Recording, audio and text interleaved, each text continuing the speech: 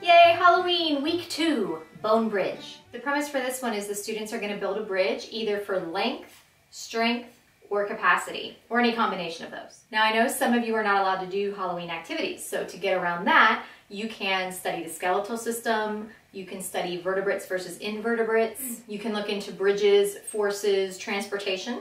There are a lot of ways around this. One thing that might actually be really cool is to have the students build bone bridge, then study vertebrates and invertebrates, and have the students come up with a design that would be for an invertebrate bridge. Ooh, I really like that. Let's take a quick look at the materials for this challenge and the STEM challenge cycle. This is the STEM challenge cycle you should follow for every challenge. I've defined each step in another video. You can click on the title now to see the cycle explained. Just a couple of quick notes um, for setup. You want to make sure that you have the students build along the floor so that there's plenty of room for them to keep going, that they won't get cut off at the edge of their desks. And you want to decide ahead of time if the goal for the challenge is the longest bridge or the strongest bridge based on how much weight it can carry or capacity. Or you might want some combination of those goals. So you might be thinking, what's the difference between capacity and weight for this challenge? So for example, this bridge is pretty strong uh, because the planks are wooden. If you had a big bag of these pumpkin candies, you could probably easily line up along this entire bridge, these pumpkin candies, but it might be actually be capable of holding more weight.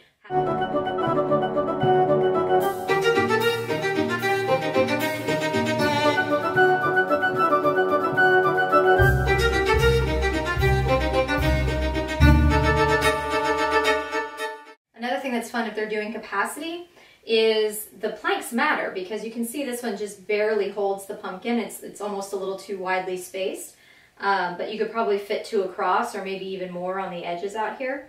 Um, so capacity can be a lot of fun to measure. If you do buy these pumpkin candies, hold on to them because when we start going over the Thanksgiving challenges, you're going to be able to use these again.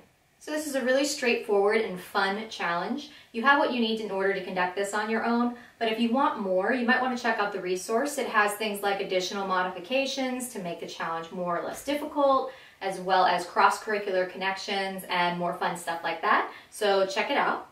This resource is going to save you oodles of time because it contains everything you need, including modifications for use with 2nd through 8th graders. You'll still need to gather the simple materials, of course, but the hard parts are done.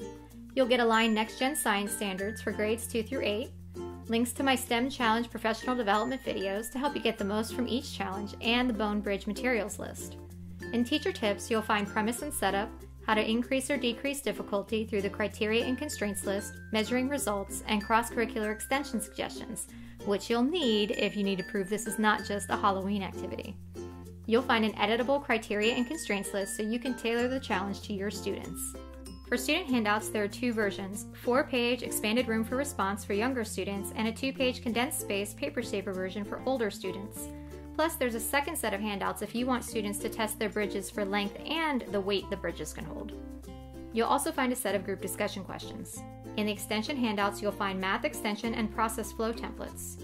This resource is available individually and as part of the discounted Halloween and Mega STEM Challenge bundles. Links can be found in the description below the video. Your students are going to love this one and so are you. Make sure you like and subscribe. Next week we're going to be going over Challenge 3, Creature Catcher. See you next time.